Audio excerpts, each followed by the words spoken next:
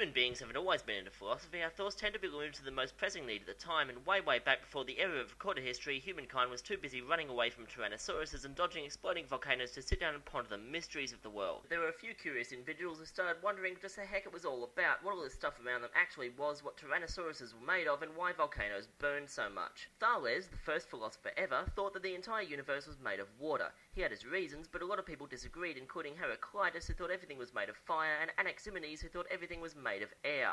These simplistic accounts left a lot to be desired, and that's where Empedocles came in. After examining the ideas of his predecessors, he concluded the universe was made entirely of what is known as the classical elements air, water, fire, and earth. These four things, Empedocles thought he had a pretty good idea of how the world worked, theorizing that objects moved according to what they were mostly made of. For example, fire always goes up and earth always goes down. This was pretty convenient for working out simple calculations like what a rock will do when you drop it into some water, but quickly became insufficient for more complicated scenarios such as what a rock will do when it passes the event horizon of a black hole. Later attempts to improve the theory by shoehorning other elements into it quickly proved completely insane, but it's important to note that what Empedocles is doing here became the primordial origin for the theory of atoms, and not only did he compile the first periodic table of elements such as it was, he was also heading in the right direction with his theory of forces. Though today we know about four fundamental forces, Empedocles identified two, and he called them love and strife. Love was the force that brought people and objects together, and strife was the force that drove them apart. But Empedocles didn't stop there. In fact, he continued to speculate on proto-scientific theories that wouldn't be proven correct for over 2,000 years, to an extent that it's actually kind of creepy. For example, Empedocles postulated the universe was once condensed in a tight, unmoving sphere by the force of love, and later exploded with strife into an expanding mass of stuff,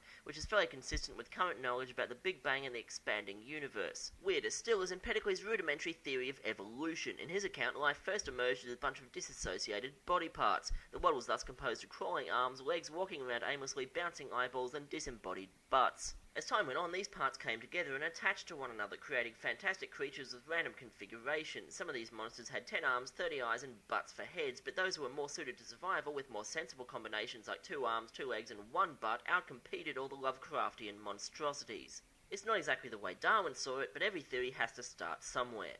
Besides his metaphysical accomplishments, not very much else is known about Empedocles beyond what has been written about him after the fact, and that's difficult to trust, considering that these sources also claim that Empedocles threw himself into a volcano and was carried into the heavens by a volcanic eruption, and he lives to this day on the moon. Nevertheless, Empedocles wound up putting together the first vestiges of a sound scientific theory about what's really going on in the world, which is pretty good for a guy who thought someone around the earth and his underpants were made out of fire.